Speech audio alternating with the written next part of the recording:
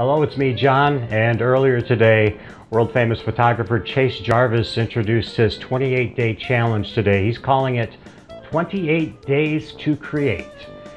And uh, he mentioned something about leap year and it being February. He'll iron out the details of that a little bit later, no big deal. Today's challenge draw a beverage. I thought Chase took the cheap and easy way out. He took a pen and paper and drew himself a cup of coffee. Instead, what we're going to do with the holidays upon us, uh, by holidays, I'm trying to be multiculturally sensitive here. Tomorrow, February 2nd, is Groundhog's Day. Ha happy holidays, everyone. Thought we would celebrate tomorrow with some libation beverage. We've got Svedka, Svedka vodka. It's the mango pineapple variety.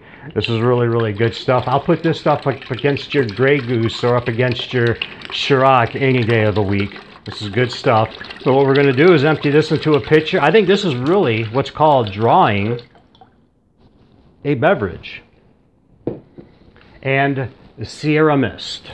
You can't drink this stuff straight.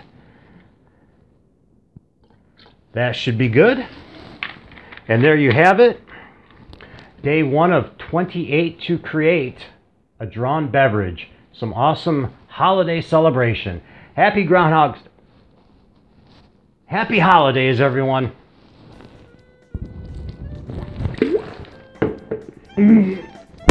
That's good stuff.